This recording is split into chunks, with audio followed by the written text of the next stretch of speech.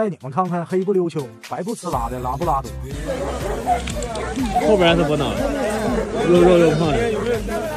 这这有我剩几个？就这一个，全是这样的狗的。啥狗出的？拉布拉多出的。不是，我是啥腿的狗出的？黑的出的？黑的、配的、白色的狗。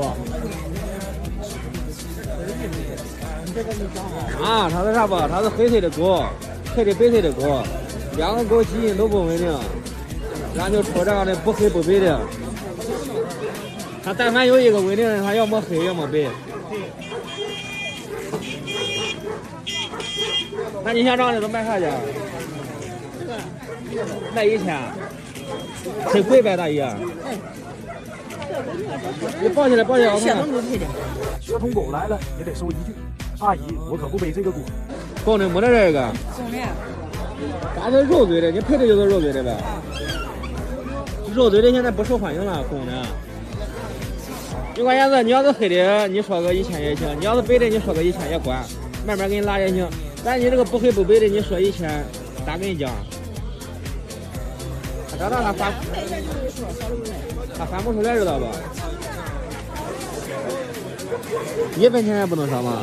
哎，价有人卖我都卖没要不我就留着了。加光黑狗黑拉巴拉都有三四个，嗯有。他是公的，他不是母的。啊，我叫当狗种的时候，我你说他，那他回来比你们再出黑的。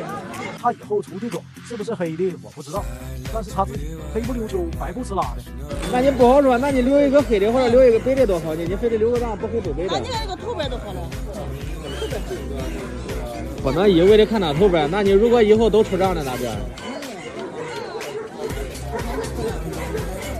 一分钱也不能少了，一分也不能少了。报两千，报一千我都觉得贵了。不过骨架确实可以，三指宽，骨架行，胃还肥还胖，就嘴有点肉。那这样看还挺好看的。就是这个颜色不行，一分不少了，对不对？你多让点就是了。那不的，我已经拿来的。他他说的是留到当中？你的？那是没见过。哦，见过，昨天见一个阿拉斯加也是这样的。昨天那个阿拉斯加也是黑不黑，灰不灰？这这叫啥？这叫这叫奶奶灰。哦，这是奶奶灰。体量好大呀！最低九百块钱了。它还不拉多啊，这个是。重量也大，体量也大。